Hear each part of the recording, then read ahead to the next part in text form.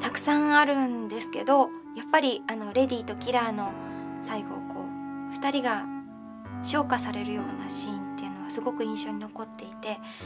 あのそれまでっていうのは悪意とか敵意とかそういうものばっかりにこう支配されていたのに初めてあ本当に大事に思ってくれる人がいるんだっていうことをお互いにこう確認してだからこう怒りが解けていくみたいなそのマリスっていうものに悪意とかって象徴されてるんですけどでもやっぱりそれを消すのはなんか戦いの力じゃなかったみたいなことはやっぱりすごく印象に残りますね。あの自分の関係するシーンについて言えばあのお父さんがこう天の声みたいに聞こえてくるお父さんの声で誓いというか契約みたいなことを破ってまでもあの厳しい父がきっと彼女にとってが初めてこうせめてものこう娘の思いだって言ってその破ってくれる、まあ、これを一緒に行くことを許すっていうふうなことをジョニーに言うシーンがあるんですけどそのなんか不器用なお父さんだったんだろうなってあの実際に映像で出てくることはないんですけど彼女にとってもやっぱり特別な存在だしでそれまで分からなかったけどシャナイアもすごく愛されてたんだってことをその時に確認したと思うんですよね。だから、うん、いいシーンだなと思うシーンは結構愛のシーンですね。はい。好きなセリフもいっぱいあって3つぐらいとか言ってたんですけどえっ、ー、と一つは「あの女を追うためにもその指輪は必要だわ」でもっていうシーンで映像的にもすごく綺麗なんですけどこう風が吹くすごく平和でのどかな中にあってこれからその気持ちとか思いとかを振り切って戦いっていうものに行かなきゃいけなくてでその彼のゾンタの思いとかと関係のないところでその指輪を欲しいと思ってしまっていることの葛藤がそこにあってなんかちょっと切ないんですよね。でその後にゾンタがまた「いいよ」ってこう渡してくれてできればずっと持っていてほしいがなって言ってくれちゃうところがもうこんなこと言われたいっていう風に思うシーンでそこはすごくなんか切なさとなんか甘い気持ちとこない混ぜになったすごく好きなシーンですね。でもう一つはやっぱりあの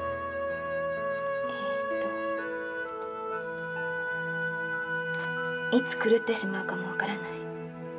エドナのようにだからその前にマリスの口づけを受けてしまっていて自分がいつ自分で亡くなってしまうかもわからないっていうことをやっと人に言えた時にどんなことをしてでもなんか変わってしまったら俺が何とかしてやるって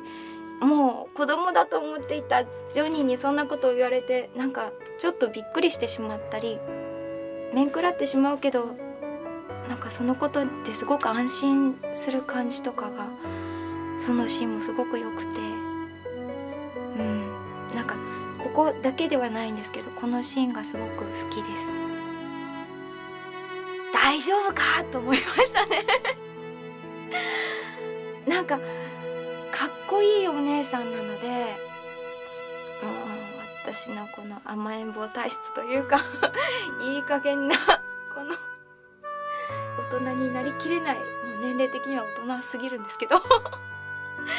私がなんかこなせる役なのかなっていうなんかもっともっと辛い思いをしてるけどそれはあんまり言ったり出したりしないんですよね社内やって。だからその葛藤を胸に秘めるだけの強さとうんまあ基本的にこう彼女自身が本来持っている優しさみたいのがずっとそれを表現しようっていうんじゃなくてずっと持ってなきゃいけない役なんだなと思ったので大丈夫かと思いましたね。えっと今のこととちょっとかぶってしまうんですけどシャナイアっていう人はすごく運命っていうものにこう導かれてその自分がその運命与えられた運命と戦うみたいな人なんですけれどもその戦いながらもちゃんと中で葛藤してるっていうところが彼女の魅力だと思っていてそのひたすらもう信じた道を行くっていう風な人もそういうヒーローもかっこいいと思うんですけどシャナイアの場合はなんか自分でその運命を受け入れて自分で道を選んでいくっていうことをしなきゃいけないってその中にすごく迷いも動揺もあるんですよね。そのさっき言ったようなゾンタともうこのまま世界のことなんて知らないでこの平和な中に身を置きたいっていう思いもきっとあったと思うんです。でもこう運命というものに導かれつつ、うん、ひたすらこう自分の信じた道を行こうと決意するんですよね。だからすごい決意の人だと思うんです。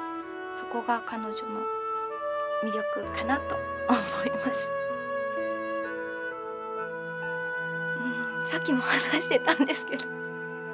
あの収録が結構長くかかって別の現別のお仕事に行って戻ってくる時にあのちょうど夕ご飯の前後っていうんですかねそのちょうどその時間だったので、はあ、なんか慌てて帰ってきたんですけどもうあの出るスタジオ出る時に「お前の分の弁当はないからみんなで1万円の弁当食っとくから」みたいに言われて「はあはあはってきたら「まずお弁当食べてください」って出されたお弁当が美味しかった。これは収録中じゃないですよね。いいですかね。はいそんなことが。あだからすごくスタッフの方も優しかったです。あの説明もたくさんしてくださったしあの心がこういう風に揺れてるんですよとかっていうその内面的なことについても結構説明をたくさんしてくださったので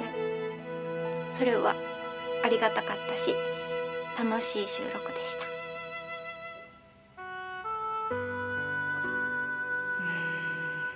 そ女の子のキャラクターが少ないということでうんみんなキャラクターがすごく魅力的に描かれてるんですけど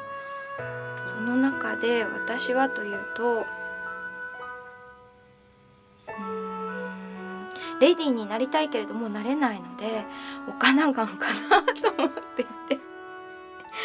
岡永はおばあちゃんだけれどもなんかこうすごくいろんなことをこう心配してあげる人ですよね。でいろんなことが見えているだけにああそっちに行ったら危ないのにとかそんなことをしたらどういう結末になるかっていうことが見えているけどそこまでこう口出しをしないんですよね。うんそういう人に私はなりたいという 希望も含めてあと多分私感覚がとてもおばあちゃんなのでおばあちゃん子なだけにだからなんか、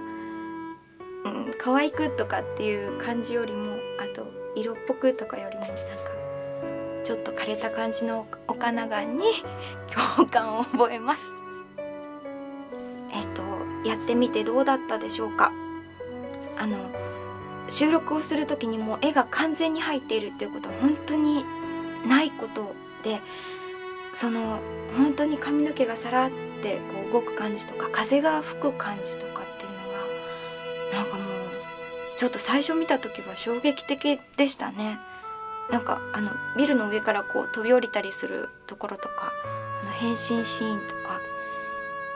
なんかこう爽快感がすごくあるんですよね。あの息ぐらいしか入れてないんですけど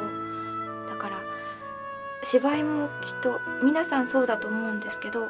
アドリブとかも入れやすいんですよね。あの映画の吹き替えをしてる感じに近くてそうさっきアメコミみたいな雰囲気もありますねってお話ししてたんですけどその何て言うかこうシャープな動きとかっこいい人たちがこう運命に向かっていく感じとかっていうのはすごく面白いと思うのでそういうちょっと細かなところも気にかけつつやってみてください。どうもありがとう